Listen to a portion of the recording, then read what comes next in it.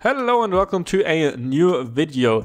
I'm going to give you an update on the whole G16E GTS the thing where the engines are failing on the first gen uh, Toyota Corolla and uh, Yaris GR cars, which happened a few times now, to say the least.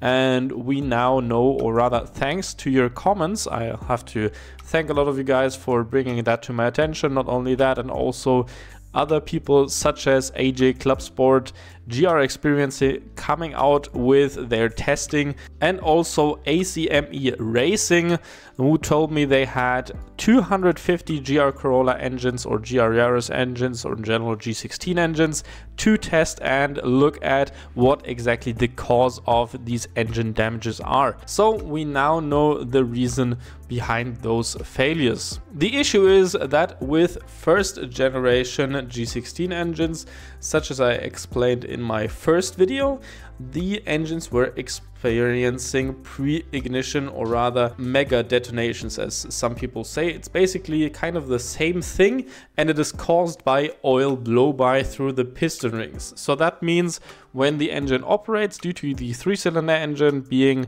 a uh, engine that is has kind of a long time between ignitions and also having a relatively long stroke, there's a lot of time for gas combined with oil particulates to enter the combustion chamber through the piston rings. That combined with the issue that the piston ring gaps tend to be on the wider side and therefore letting through more of that gas, these oil particulates enter the combustion chamber and therefore cause pre-ignition or mega detonation as some people say, which is a much more extreme form of knock. And that causes the pistons to shatter and also then the rods punching holes through the block because if there's no piston to guide the rod, well, it's just going to go everywhere. What AJ Club Sport and others recommend is using special oils that prevent pre-ignition. So they have a specification that prevents these issues to a point.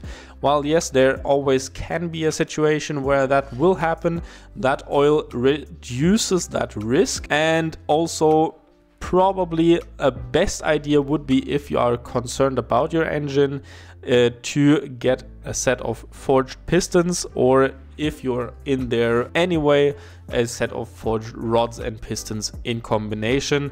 That just makes the engine a whole lot safer especially if you try to tune it afterwards. It also does not have much to do with people modifying their engines even on a stock engine uh, like a stage 1 stage 2 tune or something. That doesn't really matter as it seems to be occurring on lower rpms when the turbo just starts to spool, which makes sense because the time frame in which the engine is not experiencing combustion, there's a lot more time for the gases in the oil pan or in the crankcase to go through the piston ring gaps and enter the combustion chamber. So that kind of makes sense. There is where those issues are coming from. But again, for a detailed explanation, I recommend the AJ Club Sport GR Experience video on that topic. As for the second generation of engines, that issue should have been figured out at least or tackled and uh, the piston ring gap issue should have been resolved. So people who are using facelift engines or Gen 2 engines, they should be on the safe side of things. That's it from me for an update on that whole situation. I hope you aren't too paranoid that your engine will blow up and uh, I'll see you next time. Goodbye.